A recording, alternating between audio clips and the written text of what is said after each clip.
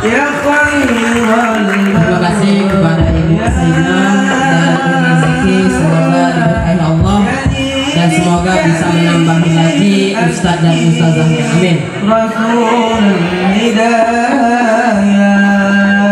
Ya Rasulullah